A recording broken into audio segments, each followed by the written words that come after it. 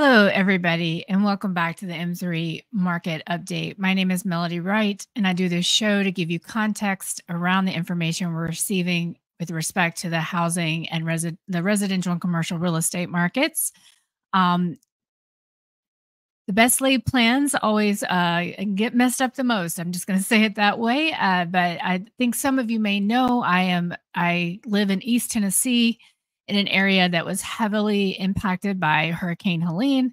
And so for the last couple weeks have just been dealing with that, um, including the fallout, um, a lot of destruction around here in this area. I'm 59 miles west of Asheville. I'm 10 miles away from Unicoi County, where 50 people were rescued off the top of a hospital and six folks lost their lives in a plastic factory uh, very close to many other devastated areas, dozens and dozens of small communities, some of which were kind of wiped away off the face of the map. And, you know, the response this is a very large area. Six states have been impacted. Um, and right now, we don't have the same response that um, I saw, for instance, in Katrina.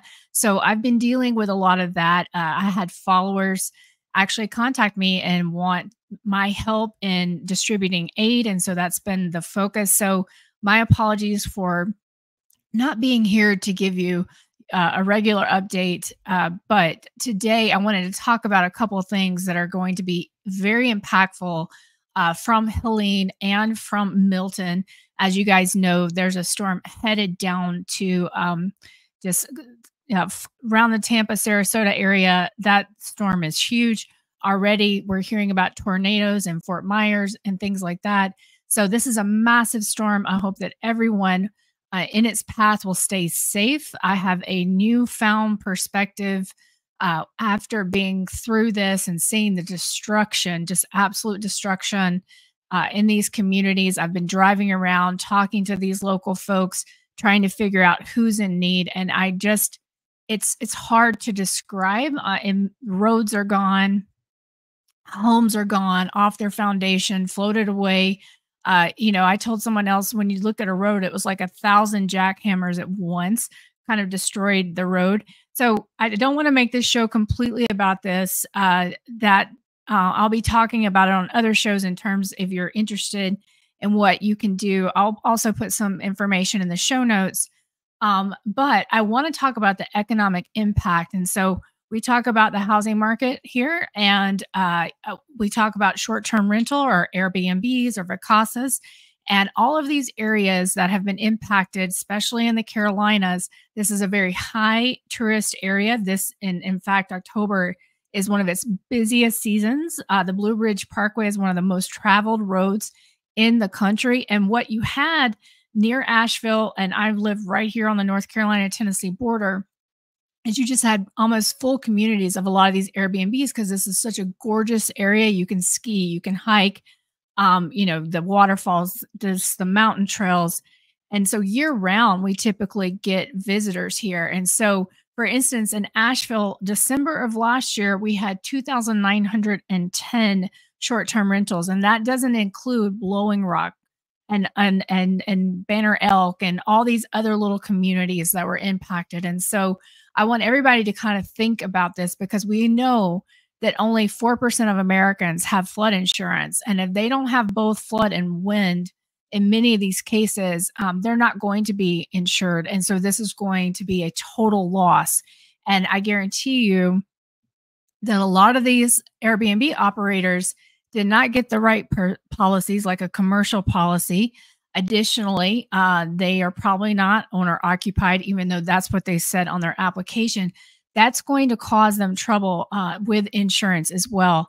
And so, if you can imagine just the loss of um, revenue and income, 3,000 in Asheville alone. You talk about Tampa. Tampa had 6,127 in December of last year uh, Sarasota proper had 7,626 short term rentals. So I want everyone to kind of think about this. Also, think about, you know, the impact if you were thinking you were going to be getting that income and that house disappears overnight.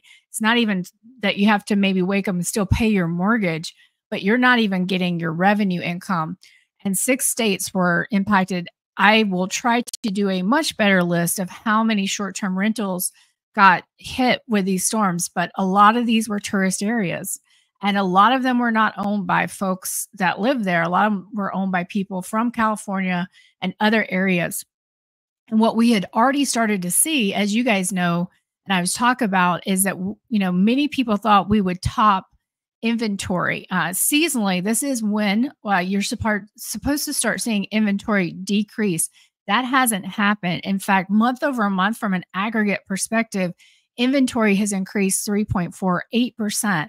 And I think that has to do with, you know, a couple of things short term rentals that aren't cash flowing, long term rentals that aren't cash flowing, as well as, um, you know, layoffs.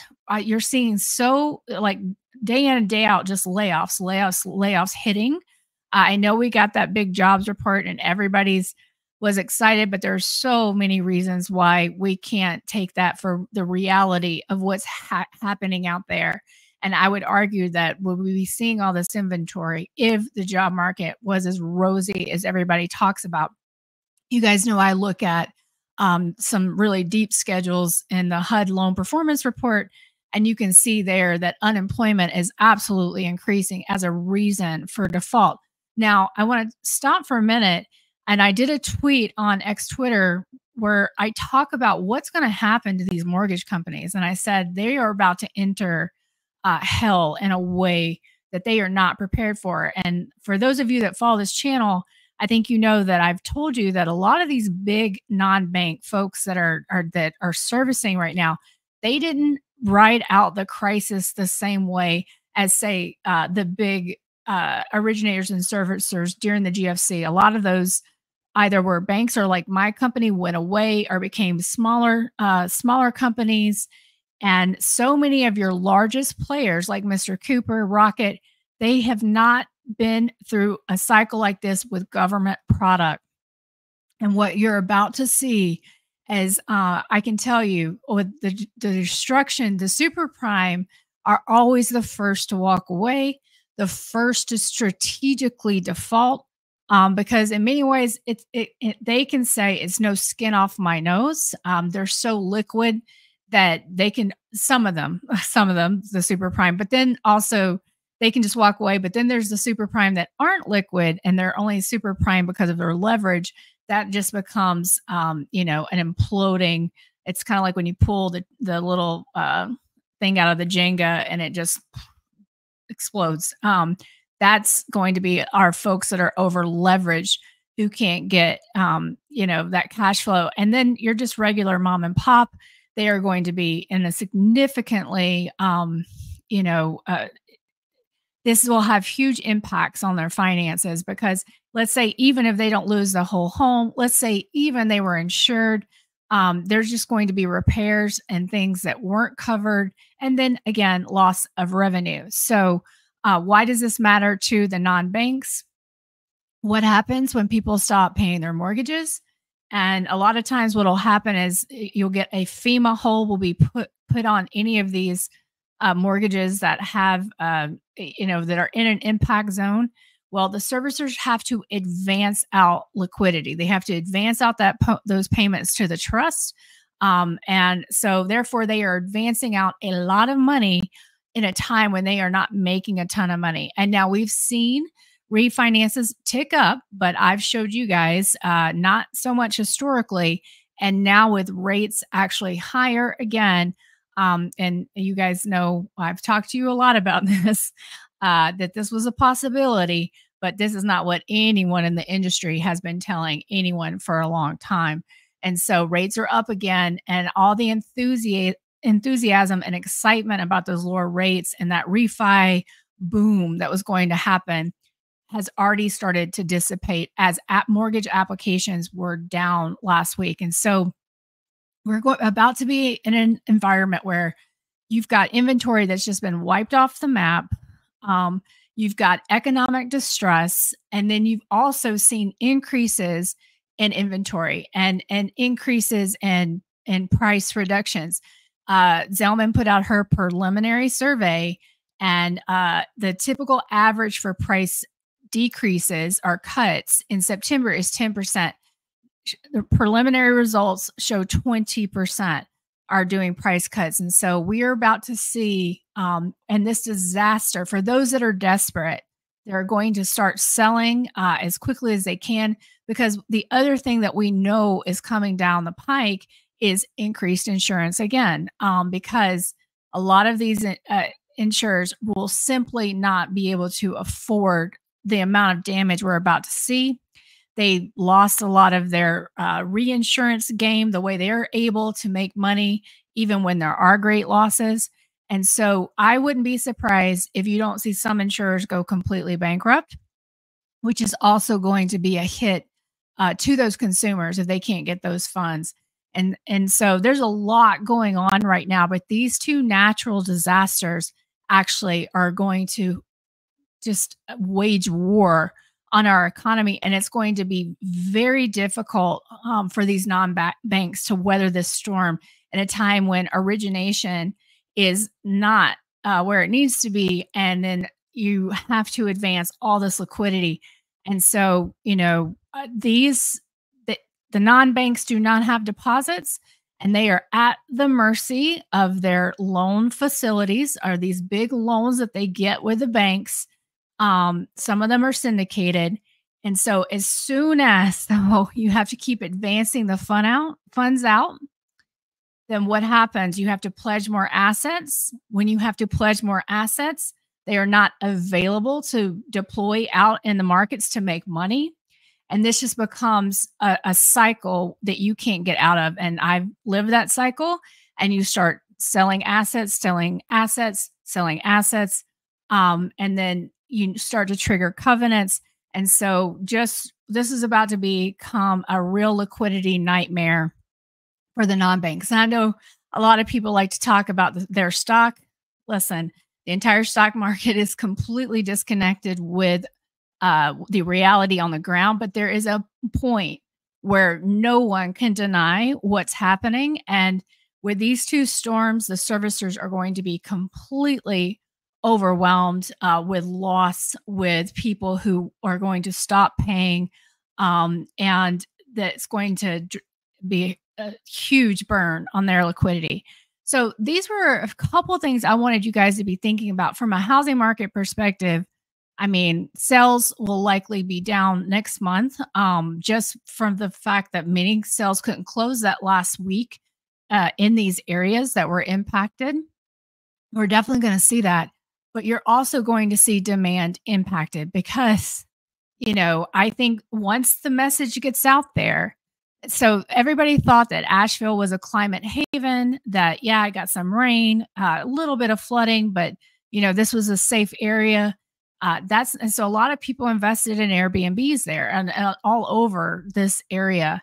And I think this is going to be a wake up call to anyone who is currently uh, an investor in short term or long term rental, as well as who wants to be one, uh, because the increases in insurance, property tax, the cost of home ownership, as well as the risk uh, to loss is, I think this isn't going to be as attractive to many after they start hearing these stories in mainstream media. And of course, it'll probably take two to three weeks before we'll start to see those stories. But this these two storms are going to have a massive impact on the housing market and not in a good way. And so I and I understand people think that, that a lot of people still believe the inventory shortage.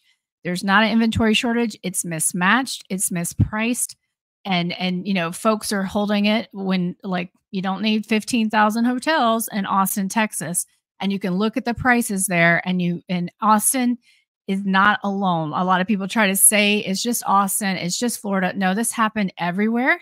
Um, my buddy ReWatchman has done an amazing video looking at how uh, people um, took the PPP loan and then immediately went around, went and bought a second home and so there is so much second home ownership. I, you know, my fir- the first point of my thesis when I started writing about this in January 2023, there are 15 million vacant properties already in this country, and we have declining demographics. Okay, so the math isn't mathing, as uh, as uh, the kids like to say. So um, these are some things I just want everybody to be thinking about uh, when it comes to the housing market. If you're a current investor, if you are looking to become a homeowner, um, you know this this is truly these events are going to change things, but they're they're going to make it. It we will follow where we were going, which is this is a seasonal time that we're going to see price declines. We're seeing um, demand demands just simply not there and we're seeing increased inventory and the builders uh, themselves you know have a ton of inventory. And so already we had the winds at our back for price declines. These two storms um, are going to accelerate that. And i know people will be like well you have all this housing destroyed. Guys most of this housing was not prime a lot i don't want to say most a lot of it is not primary residence housing in many of these locations. And so this I don't believe that this is going to have an impact to inventory. It's more going to have an impact to appetite for owning investment properties more than anything else. And the insurance nightmare is um, that, you know, this is, it's going to be something we'll pay close, close attention to. So, anyway, um, it's been a crazy two weeks. I know a lot of you were concerned and reached out, and I am so grateful for all the the help, the assistance, the the the kind words, the prayers. Um, you know, when all said and done, guys, I don't care what they're telling you in the media. I've been around to all these communities. The loss of life will probably be greater than Katrina, and and it, there will be years and years of rebuilding. And what's very concerning to me right now is there doesn't seem to be anybody talking about how that's going to happen everybody's too busy fighting politically. So, um, thank you for the thoughts and prayers. I will have, you know, our more regular updates on what's going on. Um, hope to have an inventory update very quickly in anticipation of the sales cycle um, updates that we'll get with new home sales and existing home sales in the next couple weeks. So uh, things are are getting a little better here, but there's still a lot to do. And, and I'm organizing a lot of uh, these relief efforts as well. But thank you so much as always. Um, I hope all of you are staying safe out there. Please, my prayers to everyone who has been impacted by these weather events, these economic events, uh, you know, losing your job. This is a very tough time. And what we have to remember is that we are we are stronger together and that truly what i hope all of us here can feel is that there is community. And you know the fact is that everyone wants us to think that you know we hate each other. That's just simply not true. And i hope you actually i'll put a link to my substack where i talk. It's a free it's completely free. Just about my personal experience what happened but more importantly the community response if we no longer feel that we can turn to the government for help, then our community and neighbors are the people that we are going to have to rely on. And that has been the biggest uh, message to me. So, as always, you can find me on X Twitter at M3 underscore Melody, M E L O D Y, M3 Melody Substack, and here um, on YouTube. So, I hope everyone stays safe. My prayers are with all of you.